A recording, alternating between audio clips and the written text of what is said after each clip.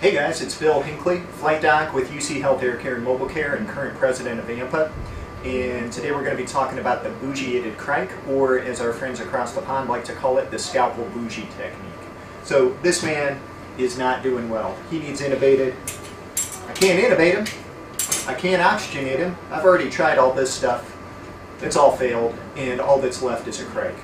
So I've rehearsed this in my head many times. I'm ready to move to the cric without any hesitation. And I've got my cric kit out here. Got everything I need, basically just a scalpel, a trach hook, a dilator, a $6 bougie, and a 6.0 ET tube. So, my friend, it's time for you to get cut. So the key principle of this technique is that once we get metal in the lumen of that trachea, we're going to refuse to relinquish control of the lumen of that trachea uh, until we've got a tube in it. So I'm going to take my scalpel and I'm feeling my landmarks here. I've got my thyroid cartilage, got my cricothyroid membrane, got my cricoid cartilage. I've got control of that thyroid cartilage with my non-dominant hand. And I'm going to go ahead and I'm going to make my vertical cut through the skin.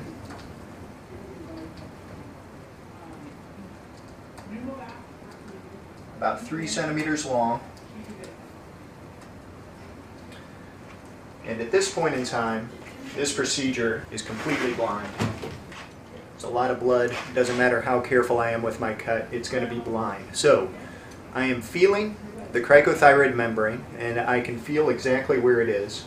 Now I'm going to take my scalpel again, and this time I'm going to make a horizontal cut through the cricothyroid membrane. I want to point south just a little bit so that I don't end up lacerating the cords. And I'm going to make a stab incision through the cricothyroid membrane's inferior part, uh, just over the cricoid cartilage. Okay, so now I have cut to air. I've got metal in the lumen of that trachea, and I am not going to relinquish control of that throughout the rest of the procedure. So now I'm going to switch hands here, and I'm going to grab my trach hook, and I am going to slide it in alongside the blade, and it doesn't matter to me if you point it south and you pick up the cricoid cartilage, or you point it north and you pick up the thyroid cartilage. Either way is good.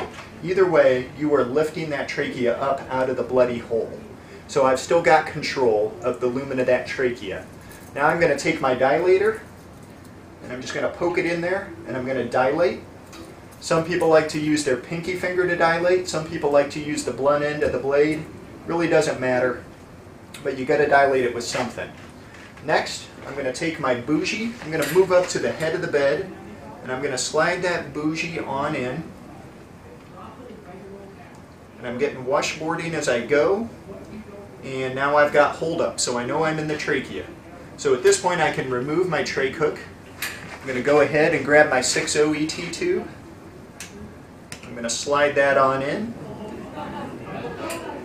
And I just need to, to get it in so that the balloon is in the trachea. Can pull my bougie back out. Go ahead and blow up my balloon.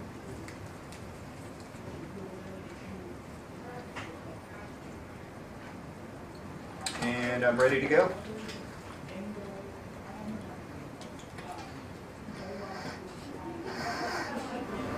So in summary, the, the main principle that I want everybody to take away is that you cut to air, and then once you've got the tip of that scalpel in the lumen of the trachea, you're going to refuse to relinquish control of the lumen of that airway until you've got a tube in it that you can breathe through. The whole key to a cric, in the thing that's going to determine when you need to do it in real life, whether or not you're going to be successful, is how often you have practiced it for real and how often you have practiced it in your head. So rehearse mentally, refuse to relinquish control of that airway, and as they say in the Marines, when you're doing this procedure, slow is smooth and smooth is fast. We'll see you later.